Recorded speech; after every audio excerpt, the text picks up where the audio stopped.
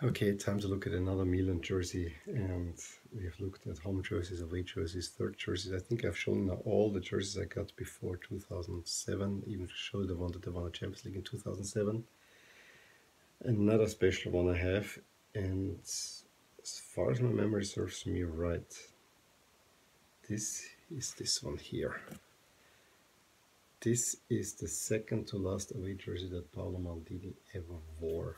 I it's from the 2007-2008 season. That's actually the one that they won the World Cup in. Um, it's a very interesting shirt in many ways.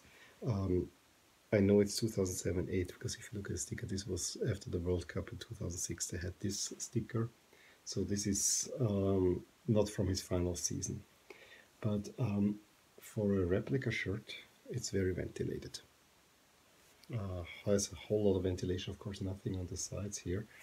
Um, I got it off eBay and I it is in a medium which doesn't really fit me very very well but I'll show you in a second why I got it first first of all was was the first one I got the Lega Calcio patch I really wanted to have a shirt with that of course it has the seven time winner Champions League um, the crest looks a little bit, um, it's wider than for others that I have, but it looks okay. Also look at the sponsor, the com is um, very understated hit. I have the feeling when I touch it there was the um, transfer on it and it came off somehow. So might have been a used jersey, but let's go right to why I have it. I, first of all, I really like the color, although this could be a little bit better. But it is Maldini. It's Milan. It's signed by Maldini. Had to get that one. I never really was fond of that numbering style. It's a little bit weird. Um, I actually have no certificate that it actually is Maldini's signature. Uh, given that it was not super expensive, I have a little bit of my doubts on it. If you know Maldini's signature, please verify whether this is right or wrong. I still would love this shirt anyway. So yeah. Got this off eBay. I actually like it a lot, but I've barely ever worn it. I know that the one time that I really wore it for an entire day was on the day that Maldini played his last game in Florence. And there are pictures of me having that one. Yep, Maldini is my favorite.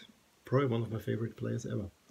And what an elegant player it was. And uh, mostly shirts from the latter days of his career. I have a third Maldini shirt that we'll look at relatively soon. Well, if you see here, it's all plain here. Mm -hmm. ClimaCool, so this is a replica version. I'm really surprised. Look, look at now how much ventilation there is going on. I mean, look at all this. This all ventilated material around the shoulders. You don't usually get this in a replica shirt, I think. I think it's a beautiful jersey. Uh, better than the one that they won the Champions League in, especially because, because of the color. But there were nice things as well for the Champions League winning jersey. And yeah, I'm happy to have this patch. I actually like how it kind of sparkles and shines. I think all patches should be made something or a material like this, similar to the Champions League. Honorary patch is also similarly done. I don't like the plastic transfers that they have right now. Let me know what you think about this jersey any members attached to that one. Um, again, let me, if you know, let, let me know if this is real or not. I so far had no chance of really very, very verifying it, and part of me doesn't want to, but I would be more than happy if someone tells me it is. So there you go. Give me a thumbs up if you liked that video, subscribe to my channel if you want to see more of these, and I will talk to you soon. Bye.